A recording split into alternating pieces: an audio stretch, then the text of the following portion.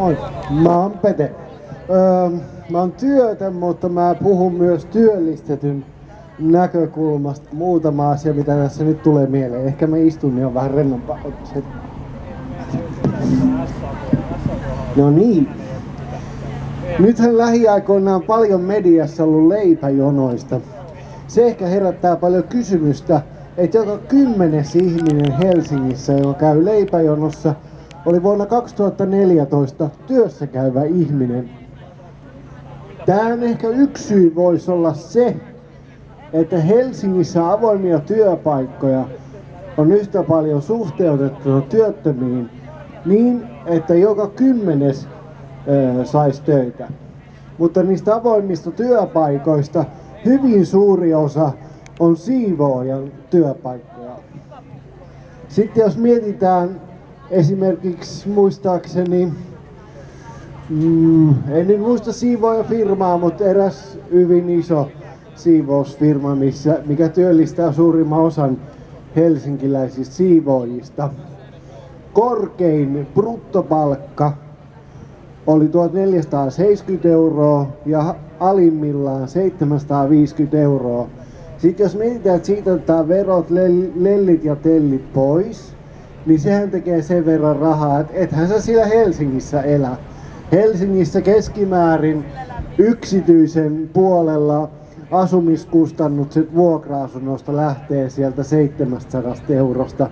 Tänä päivänä ehkä halvimmilla on kyllä 725 euroa. Niin voidaan miettiä, että jos verojen jälkeen saat vaikka palkkaa tonnin, niin et sä, et sä sillä kyllä hirveästi täällä elä. Öö, mitäs vielä? Öö, no niin, on myös lievästi liikuntarajoitteinen. Mä oon ollut tuosta vuodenvaihteen jälkeen työtön. Öö, mä hain kahden kuukauden aikana 60 työpaikkaa. Mä oon kasvatusalalla. Ja monessa työpaikassa ne sanoo ihan suoraan, että joo, että ai sä oot tommonen, no ei me suoteta töihin. Että kun ne katsoo, että ei se yksikätisenä pysty tarpeeksi nopeaksi pukemaan lapsia ja riisumaan lapsia. Mä selitin kyllä, että alalla on oltu töissä, että ei ole ongelma, mutta se nähtiin esteenä vaikka perustein, että pedagogisesti ihan se erittäin hyvä, että toimisin tämmöisenä kasvattavana esimerkkinä, että kaikenlaisia ihmisiä olemassa ei käynyt. Eli työllistyminen on tosiaan äärimmäisen vaikeaa, jos on vähänkään joku kuuluu johonkin vielä erityisryhmään, niin he he, siinähän yrität hakea töitä. Öö, mm, vielä? Mm, niin, sit se on aika läppä, että mä oon opiskellut tämän aikana ihan sikana. Ja, no, vähän katkeilee. Ja ollut monien tämmöisen tavallaan rahallisen tukitoimien alla. Mä oon nyt ensimmäistä kertaa elämässäni ansiosidonnaisella ja mä oon köyhempi kuin koskaan.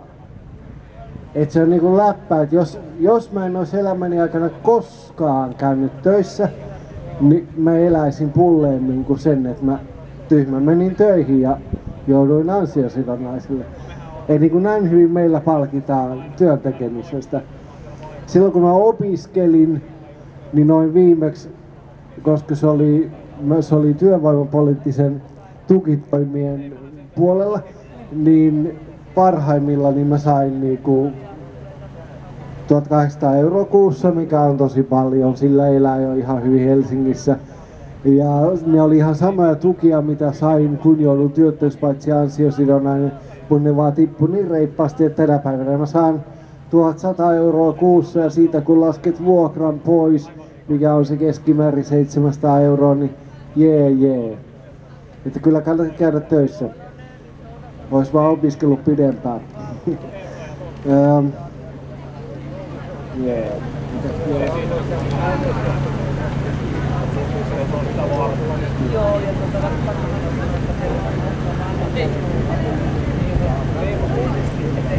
Ehkä tällä kertaa, jos tulee lisää mieleen, niin myöhemmin uudestaan lisää. Kiitos.